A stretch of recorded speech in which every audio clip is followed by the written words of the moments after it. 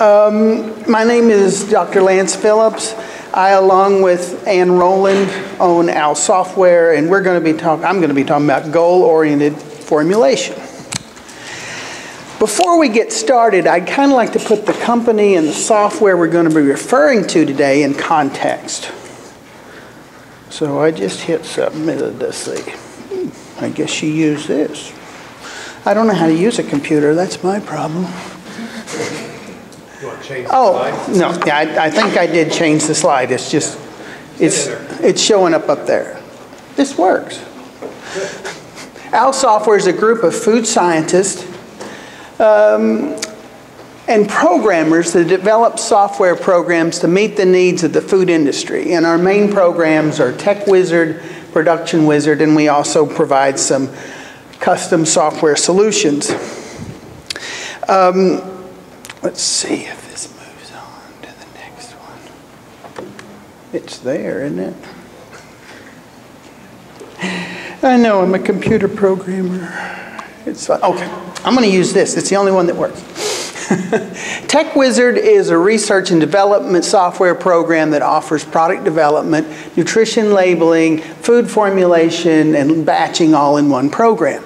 Production Wizard is a software program that brings the power of Tech Wizard to the plant floor and it simplifies day-to-day -day batching and keeps formulas on track. Now, I'm going to be showing you some screenshots today from Tech Wizard uh, during this presentation.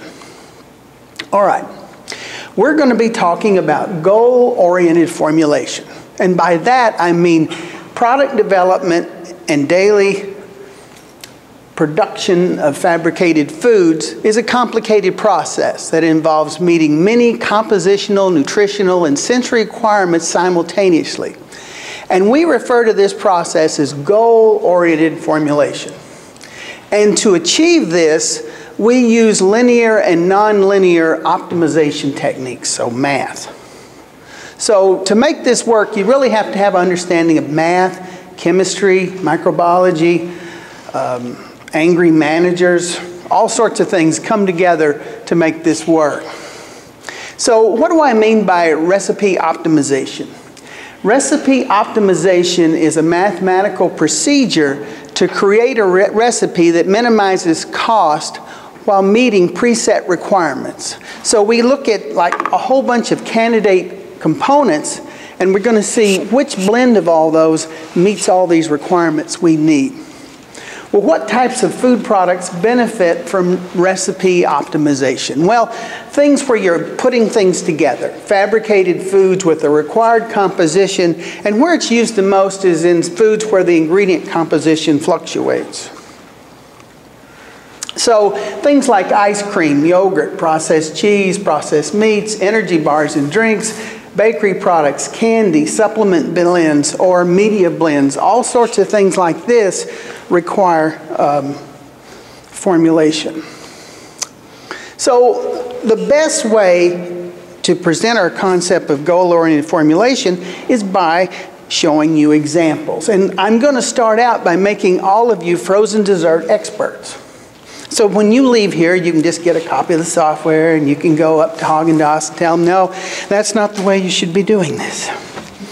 So the first thing we're going to do is develop a nice 12% fat ice cream. And then we're going to do what has been done in the past. We're going to reduce the fat, fat content to 3% fat. And as most of you know, if I just take the fat and go from 12 to 3, this stuff's going to suck. Or if you go to like one of these restaurants that they have a soft serve, and you go over there and you get that cone of soft serve, and it feels like somebody just scraped it out of a freezer and put it on a cone, you know, the salesman calls that refreshing. So, really bad ice cream in the sales business is refreshing. But what we're going to do is fix it. We're going to determine what to add to that 3% fat ice cream to have a similar sweetness and mouthfeel as the original 12% fat ice cream. So we're going to have to invoke chemistry to make this work. So here we have a screenshot of uh, the Tech Wizard program. And what we've done here is we've developed a 12% fat ice cream. And this is after the fact. So let's see, if I push this, there's the laser, right? So this part over here is what we're trying to develop. So if we look at this, um, well, I'm going to step over here away from the microphone, but hopefully you'll still hear me. Um, we've got 12% fat. That's what we told it we wanted. 11% milk solids, not fat. 14% sucrose solids. 0.35% stabilizer solids. And 0.15% emulsifier. So these are all common things that you would find in a 12% fat ice cream. Now, while we're at it, we said, well, we want to relative, we want to track some other properties like relative sweetness, sucrose equivalents, and I'm going to get to what those mean, as well as the total solids content. We're going to also track what we call complex properties. And in this case, the complex properties are the freezing point of this ice cream in both Fahrenheit and centigrade, and then the amount of ice it would contain at uh, two different temperatures 22 degrees Fahrenheit and 10 degrees Fahrenheit. So we hit the formulate button after we set all these requirements. So We hit formulate. It starts up its uh, linear programming and nonlinear programming components, and it spits out this percentage of each ingredient. And here's our candidate ingredients cream and milk and condensed skim and liquid sugar and stabilizer and emulsifier. Fine. Now, these complex properties are based on equations. And one of the things we've done to the software that makes it really powerful is if you have some sort of interaction that you know uh, you can mathematically represent, that's also based on changes in amounts of certain ingredients, then you can say, I want to set this to be a certain level and formulate to this. Well, why have we got relative sweetness and ice content in here in the first place?